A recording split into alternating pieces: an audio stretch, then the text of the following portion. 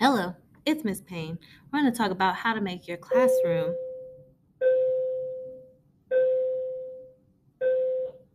less smelly. All right, so let's get into the tips.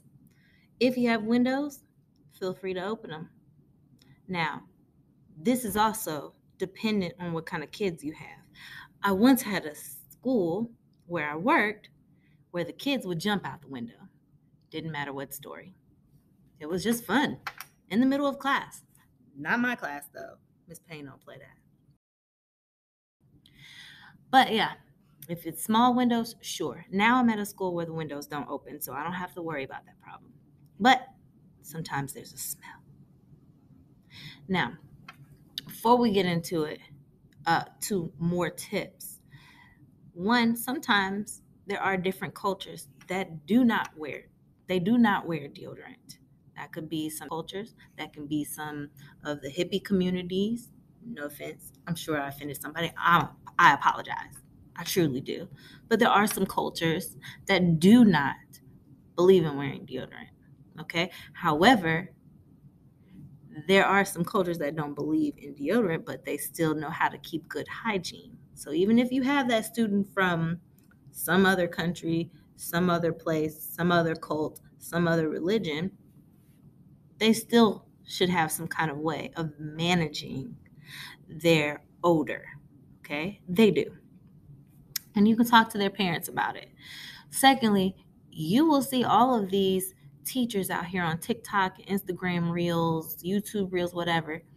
They have whole stations devoted to giving back to their students. They spend their own money to make sure that girls have their feminine project products, that guys have some deodorant. Now, you don't have to spend all your money to do that.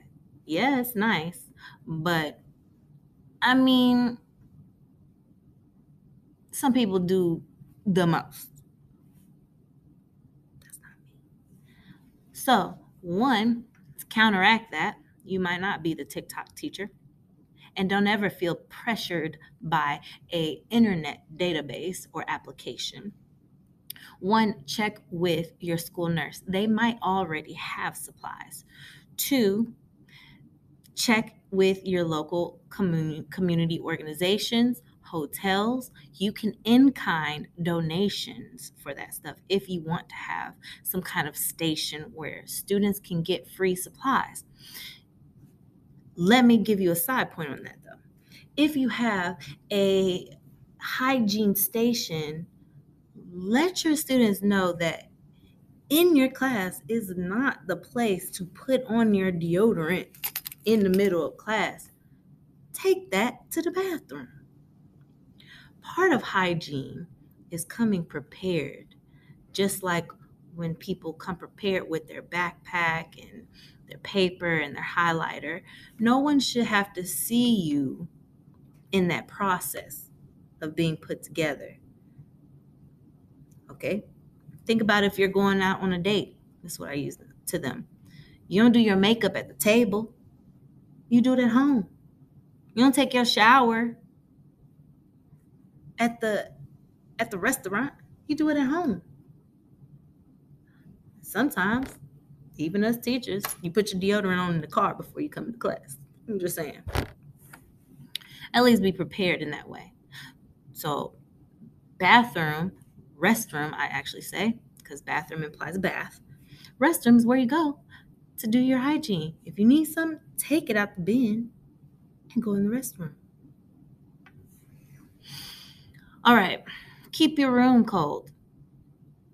Science teachers were infamously known for a cold climate in our classroom. Helps stop the smell a little bit.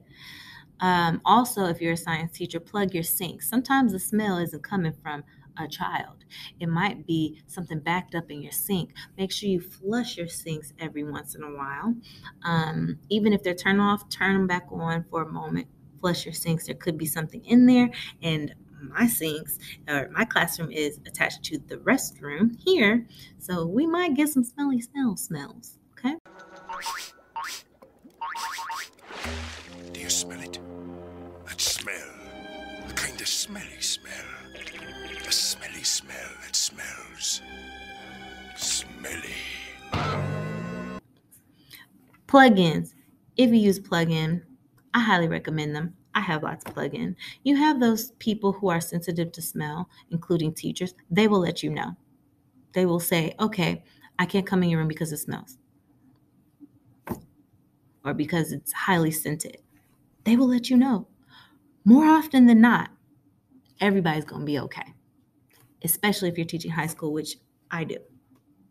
Kids know what they're allergic to. And sometimes a tip is to place a, a jar of peanuts on your desk because half of these kids are allergic to peanuts. Then they won't even come by your desk. Tip for you.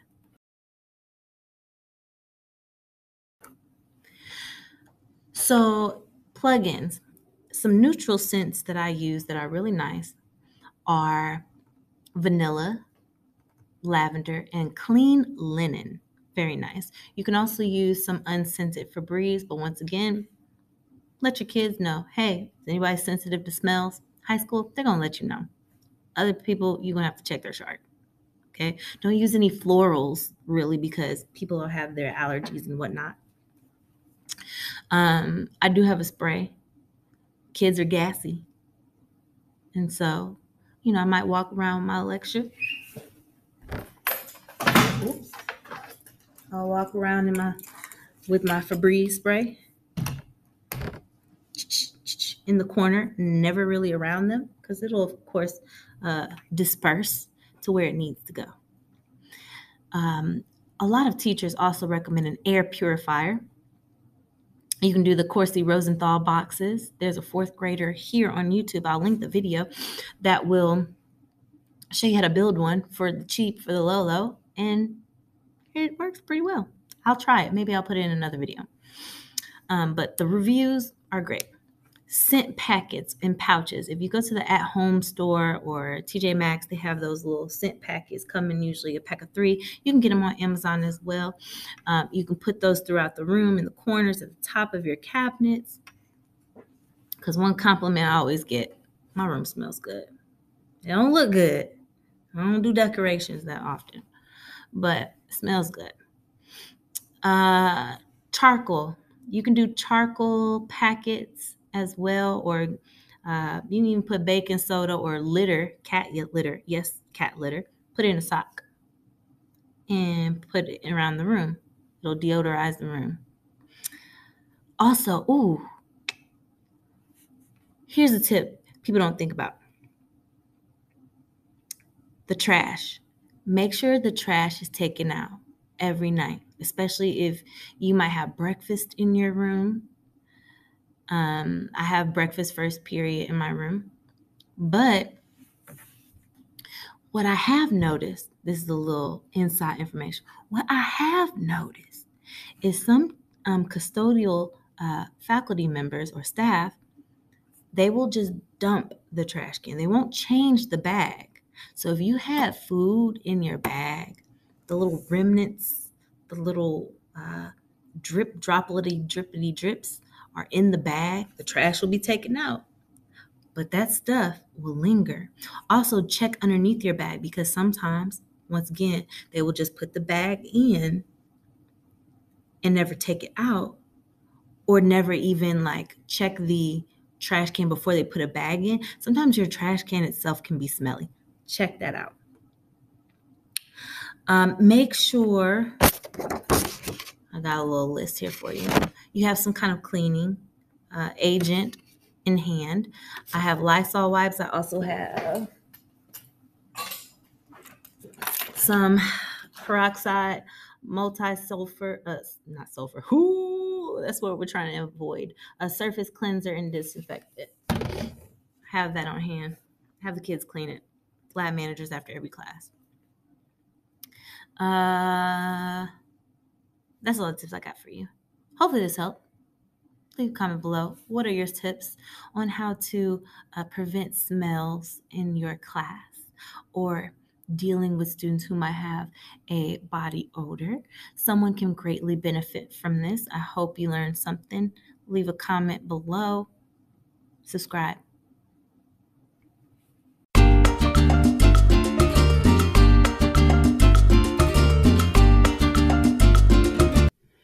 Don't you think I'm so sexy? I'm just so fresh, so clean. So fresh and so clean, clean.